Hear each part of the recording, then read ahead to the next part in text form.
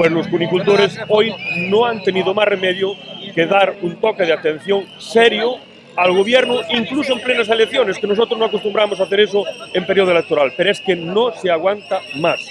Nuestra gente está perdiendo sus casas, está perdiendo su vivienda y sus bienes como consecuencia de una crisis que dura más de 30 meses. Yo no sé cómo esto no ha explotado antes, porque ya llevamos arrastrándolo dos años. Eh, este año aún es más crítico porque hay que tener en cuenta que en lo que va de año sale una media de 1,40 en Madrid. Y eso es una forma de, de dar un pistoletazo a todas las granjas que quedan.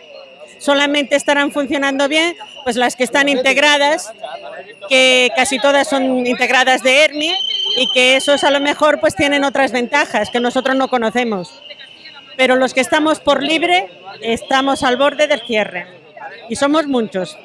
En estos últimos meses de crisis, un sector que factura 300 millones de euros ha perdido más de 60 millones de euros. Es la ruina de más de 3.500 explotaciones cunícolas que, que, quedan en España, pero seguramente es la pérdida también de entre 15 y 20.000 puestos de trabajo, que es lo que representa el sector cunícola.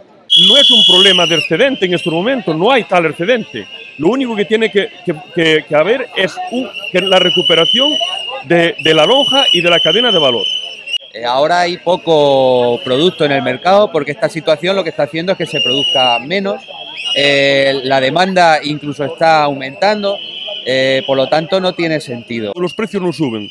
¿Por qué no suben? Porque ya está vendida la carne de conejo a tres, a tres meses vista y con unos precios ridículos de, de, de 1,30, como está ahora mismo. Si la cadena de valor funcionase, los productores tendrían más que ver y estarían cobrando un precio digno por, por, sus productos. Que el mercado está absolutamente manipulado por eh, los mataderos y por la, las áreas de la distribución. Yo creo que con el visto bueno también de, del gobierno, que sabe que hay una manipulación clara del mercado, pero no actúa contra las consecuencias que genera todo eso, por lo tanto, hoy lo que planteamos al Ministerio de Agricultura es la exigencia de que la cadena de valor funcione. Estamos planteando que a la hora de los préstamos que ahora les vence, pues que pueda haber una moratoria que aliviaría, que solo fuera temporalmente, pero aliviaría la situación de nuestros cunicultores. Porque hay mucha gente también que no puede pagar el pienso, que se lo están financiando las casas de pienso y algún matadero ya está también diciendo, porque se compra el pienso a través de ellos, de que van a dejar de financiar. Estamos planteando también a nuestra consejería el que pueda establecer una ayuda de minimis. Y por qué no decirlo, al Ministerio hoy le vamos a plantear también un plan de reestructuración